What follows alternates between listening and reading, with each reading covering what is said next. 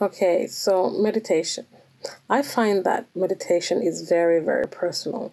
It all goes boils down to you and your preferences. Like I had a hard time uh, getting into meditation at first because I was trying to do it like everybody else. That um, way that you always see on TV, on YouTube, all those things. Like, but that didn't gel for me. It never did, and it just made it harder and made me more frustrated. And was like, you know what, I'm not gonna meditate. It took me a little while to realize that I need to find my own personal way, my, my own personal way to connect. When I did that, when I found my way to quiet the mind, my way to tune in to myself, to my higher power, that's when I could really truly start meditating and manifesting because they kind of do go hand in hand. Done a separate video on raising your vibrations and manifestation as well.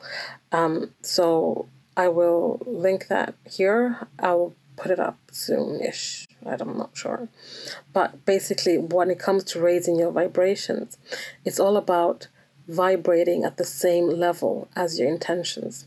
So when you intend for something, when you set your intentions, be secure in them, be solid in them, believe in them. If you don't believe it, it doesn't matter. It doesn't matter how how do you try. It's not going to work.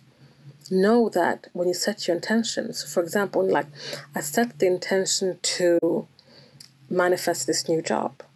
Know that it's yours. Believe that it's yours vibrate at that energy.